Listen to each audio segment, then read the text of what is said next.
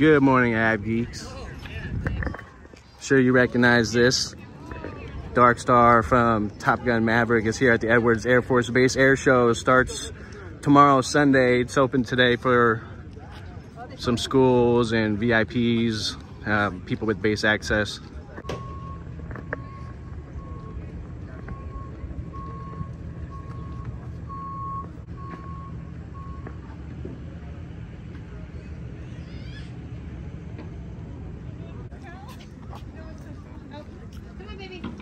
So of course this uh, thing doesn't actually fly. It does have a functional cockpit though. And they made it just for the movie. But the uh, concept for a hypersonic fighter jet is definitely a real thing. This is from Skunk Works. And um, there's a reason they put this in the movie. They want people next 10 years to be engineers and work for them and develop the next generation of fighter aircraft, which are probably already flying. We just don't know it yet. But there it is. Maverick's hypersonic jet at the beginning of the movie. It's pretty cool. And it's parked here right next to the Blackbird.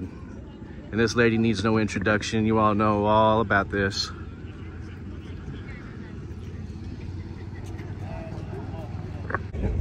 Well.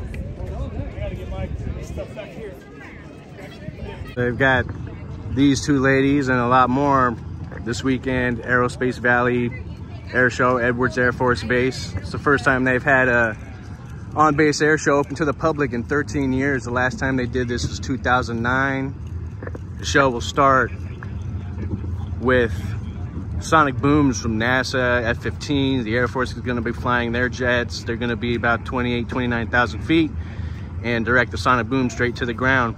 It's the only air show in the country that they're allowed to actually do that. That's the nature of Edwards Air Force Base flight test. A lot of history here. Uh, it's also the 75th anniversary of Chuck Yeager breaking the sound barrier for the first time. And that of course paved the way to everything that came after. So come out this weekend.